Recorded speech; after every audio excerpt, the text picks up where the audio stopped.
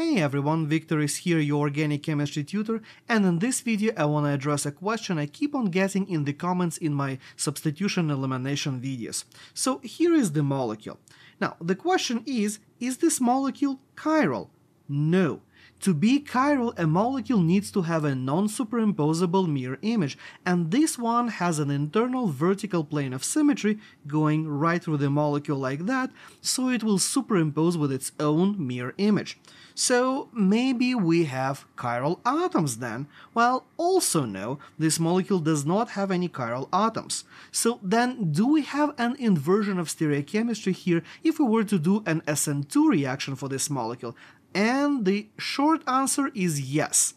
The nucleophilic attack requires the backside approach to the electrophilic carbon in our molecule, so we will invert the atom in the process. Think about this as an umbrella flipping in a high wind. Exactly the same thing happens with your molecule. It doesn't really matter if the atom is chiral or not. The stereochemical inversion is the physical process that flips the atom. If atom was chiral, it makes the opposite stereoconfiguration.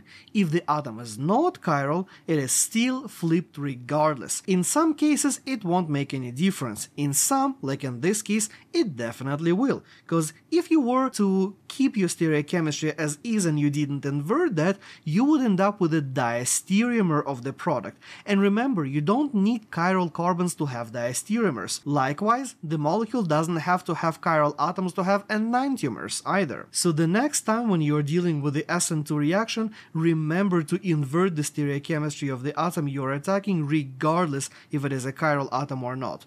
And that's all I have for this video. Thank you for watching. Don't hesitate to drop your questions in the comments below, boop the like button if you found this video useful, subscribe to the channel for daily organic chemistry updates, watch this video YouTube thinks you'll love, and I will see you tomorrow.